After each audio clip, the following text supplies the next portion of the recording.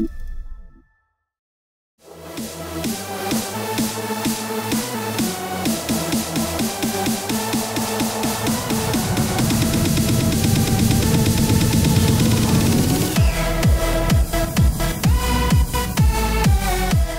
Hello and welcome to Maker Hangar. My name is Lucas Weakley and today we're going to be talking about electric speed controls, or ESCs. These convert DC power, they also vary the amount of power going to the motor so you can control it, and they do a bunch of other things. So let's get started. An ESC, also known as an electric speed control, converts DC power coming from the battery to AC power going to the motor. Because there's so much power being regulated through them, ESCs do get hot, so that's why it's important to have air cooling in your airplane. ESCs also vary the amount of power going to a motor by taking the signal coming from your controller.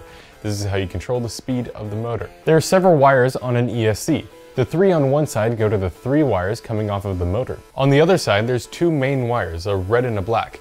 These connect to the positive and negative wires on your battery. And then you have the servo lead, which goes to the receiver and gives it power, and also allows you to control the motor. ESCs come in all different shapes and sizes, and they're categorized on how many amps they can support. Last week we talked about different amp draws with motor and prop combinations. Well, once you find how many amps a certain motor and propeller draws, then you can choose a proper ESC to go with it. So say we have a motor and prop that draw 25 amps at full throttle. Well, you wouldn't want to choose a 20 amp ESC because then the motor would be pulling so much power from it that the ESC would get so hot that it would actually burn up. You also wouldn't want to choose a 25 amp ESC. Now I know what you're thinking. You're thinking, why wouldn't I choose an ESC that's rated for the exact amount of power that I'm going to be pulling at full throttle? Well, that's because there's a margin of error with these motors. Those prop tests coming from your manufacturer were done on a workbench where the motor was not moving.